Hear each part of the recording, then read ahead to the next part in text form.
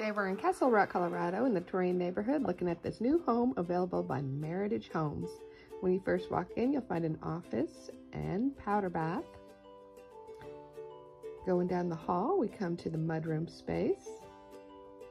And it opens up into your main living area. First, we see the kitchen, dining space, and turn it around here into the two-story great room.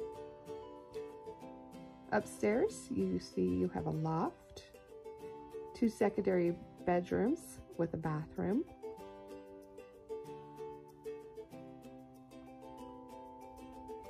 laundry room, and into the primary suite. My name is Courtney Murphy, Denver Metro Realtor. If you'd be interested in seeing this home, definitely give me a call.